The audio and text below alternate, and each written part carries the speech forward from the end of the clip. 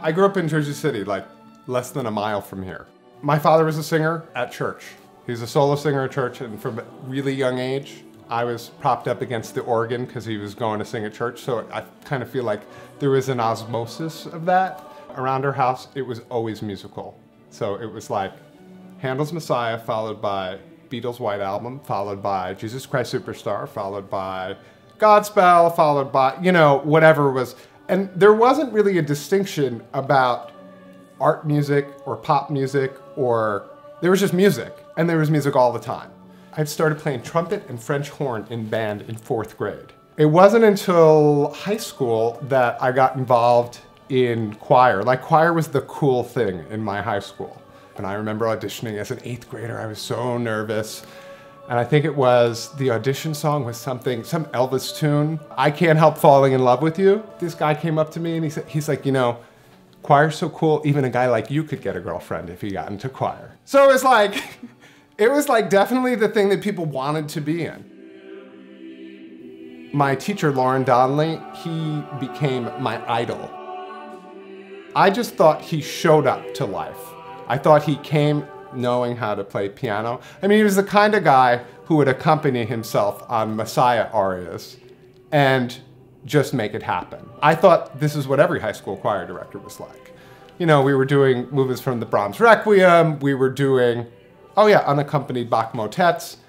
He had a command of himself as a singer and as a musician and just as a human being, I wanted, I wanted that. But I thought at that age, it was like, oh, well, you just get that. He just came talented like that. And I think a lot of that high school journey for me was about teachers like Lauren Donnelly. I had music theory for two years with Paul Caliendo, who I'm still in touch with to this day. They really helped me go from this fantasy idea of what it is to be a musician. And they taught me that it was skills that could be learned. So it became a lot less magical and a lot more, this is something anyone can have, and here's how you get it. And that, and I think that that was kind of instilled in me. So when I went on to teach, I feel like if you want to learn how to read rhythm, if you can count to four, we can get you started. After high school, I was bio pre-med at Ocean County College. I still have not made that journey that music was something that anyone could do. I always wanted to be a musician, but I didn't think I could. I was a singer at the Macaroni Grill in Edison, New Jersey. And I had this little card and I would hand it out to people and had like five like Neapolitan songs. And this is what I would do. And I would go in for an hour and I would make enough money to live on and I was happy. And finally, so many people were like, what are you doing here? I saw myself as a musician. Playing guitar in a blues band, that was being a musician. And enough people finally said, what are you doing here? That I listened to them and I was like, you know, I need to see if I can go to school for this. So I went and I signed up to be, you know, voice major and everyone said, oh no, no, make sure you should do education too. And I was like, no, no, no, you don't, I'm, I'm gonna be a singer. And they're like, no, no, no, study music ed too, you never know. So I did as a like a secondary thing originally. I was like, let me take music ed classes just in case.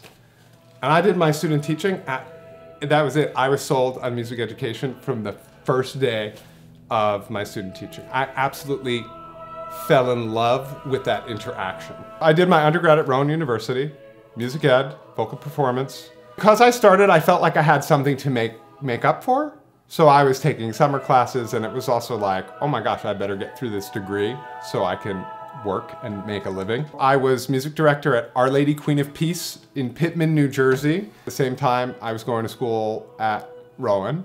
So it was really great to be able to be in school and at the same time have a practical application for here's what I'm learning, that's the ideal, and here's the real world where I'll actually get paid and how do we put all of that together. After undergrad, my first gig was elementary teaching. I had a music cart as big as this fireplace.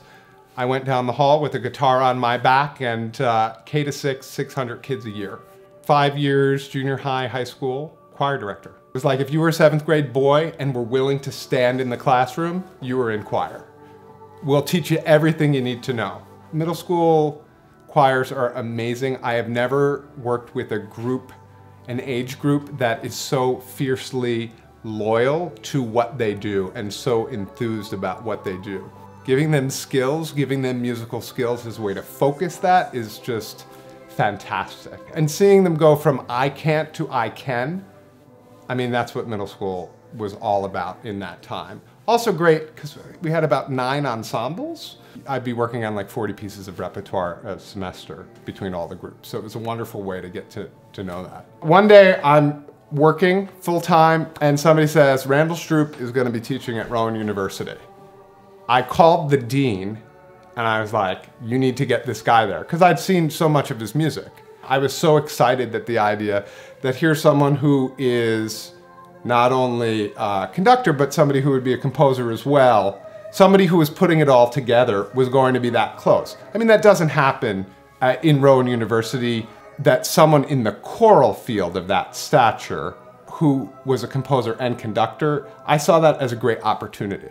So he wound up getting the job there as director of choral activities, and I was in his first class of students for a master's degree. So now I'm working full time and I'm doing a master's. And again, the application of learning theory and being able to apply it, fantastic. I had so many questions about why my choirs were doing things, and I just needed to get the answer. You're doing this music, and you have these boys, and you have, regardless of what all of the books say, the reality in the classroom is I have guys and there's not parts for them to sing. A guy going through the voice change who's willing to sing is like gold and what a wonderful time to get them excited about singing. So it's like either figure out a way to make this work or you're gonna lose these guys. Who, who likes to be part of a group and be like, oh, we have something for everyone but you? I think it was initially like a, a response to that. Whether it was writing parts into the music or you wind up doing something like a movement from Vivaldi Gloria, and it's perfect for your tenors because it sits nice and high. Your tenors because you're just, it sits beautifully, even if they're unchanged voices. And you need to come up with rewriting a few parts in, of the bass. So I think it was a response. And that's something that I think at every step along the way, the composition was a response to writing for the group around me almost a conversation. It was like, oh, you have a need, I'm gonna come up with something musically that meets that need. I mean, I think that's what draws me to it, is that it's for a purpose. The music education background that I came out of is the idea that you're doing something other than just music for the sake of music. For me, I was learning all of these musical skills and it was changing who I was as a person. I was building self-confidence. I was learning all of this stuff through music. And I think that as an inspiration, that's more inspiring than, than anything I could imagine.